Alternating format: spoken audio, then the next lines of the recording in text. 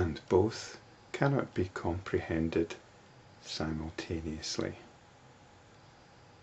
So what's Patanjali referring to here? Well, we have to look to the previous sutras, sutras 18 and 19. Sutra 19 was referring to the mutability of the self and how the self cannot know itself. It cannot be a knowable object. The point here being is if you think you have realized the self, then you have to be very careful because it is not an object. So if you think you've discovered it, you have to be very careful not to characterize it as an entity of some kind because it's that which does the illumination. Now, the traditional understanding of enlightenment is that once you've reached it, that's that. But enlightenment is about the attention. The attention moves around all over the place. You can do exercises to try and focus it in one place. You might have to focus it in one place if you've got a task to perform. But otherwise it likes to flit around all over the place. Samadhi is when it's resting in its own nature. It's not knowing itself. It's resting in its own nature. I sometimes describe this as paying attention to the attention. And somebody pointed out that well, this involves some kind of infinite regression, but that's only if you're thinking of, thinking of it conceptually. When you're aware of the awareness, paying attention to the attention, then it collapses in, in itself. The seer and the seen, mentioned later on in Sutra 23, collapse into just the seeing. So what's Sutra 20 about? Well, like I said, the traditional understanding of enlightenment is that once you're there, that's it. It's not. Enlightenment is the beginning of spiritual practice, not the end of it. So this is why I call it enlightenment practice. Enlightenment is something you keep coming back to. You cannot actually be enlightened when you're engaging with the world because then you have to put the attention away from itself. You have to put it out there or in here. It's no longer resting in itself.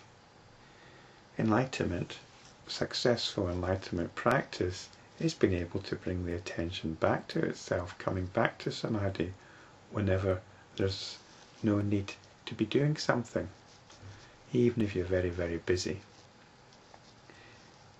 This doesn't mean that busy people cannot be enlightened, because even when you're busy with tasks, can, there are still lots and lots of opportunities to bring the attention back to itself. It only takes a few seconds, a few microseconds even. There's lots of gaps in any task where you can be bringing, bringing the attention back to itself.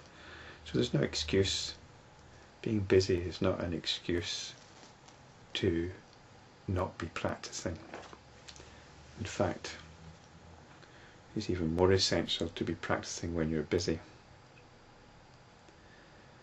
So this is a very important point. Enlightenment comes and goes. When you become more adept at it, then there's less chance of you losing the plot. Although we have to be careful that it stays fresh and, and it doesn't become a knowable object, as it said in Sutra 19. It's all about making the transition, which this book has been all about, from the great flow of life to this other dimension The great flow of life is the great flow of our moods. And we can move to this other dimension, which is beyond our moods, which can see the moods happening, but doesn't get sucked into them, doesn't fuel them,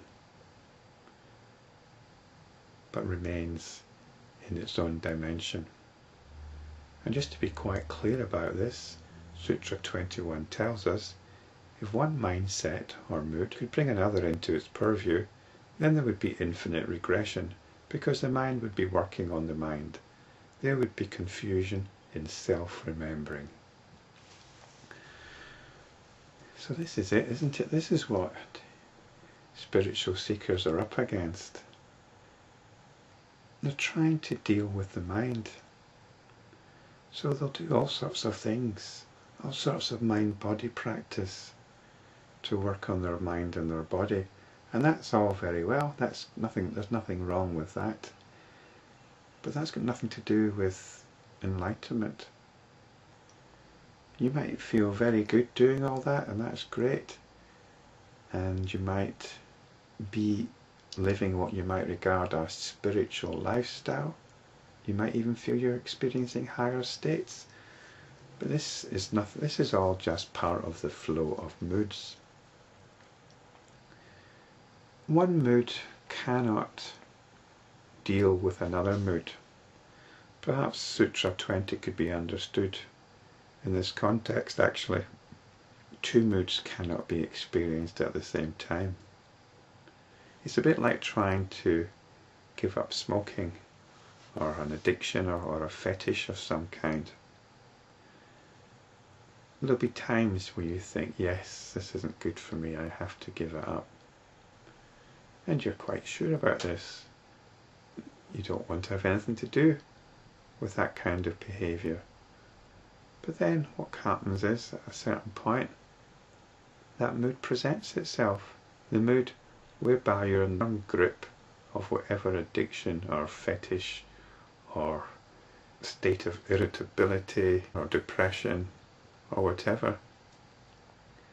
It comes along anyway, no matter what your atten- no matter what your good intentions were. Now this doesn't mean to say that you should give up on trying to alter your moods. There's all sorts of good practices and therapies out there, I'm sure. You can throw some new moods into the mix and all the rest of it. So this is infinite regression. You're just getting caught up in the cycle of moods once again. Creating more moods, one mood leading to another mood. That's not what we're about. We are about self-remembering remembering the self, coming back to the self. And we mustn't confuse this with coming back to a particular kind of good mood. This is why it's called dispassion. It's sometimes described in rather cold terms void, emptiness, what we have to do is move into this other dimension. The dimension of the self, the dimension of awareness, samadhi.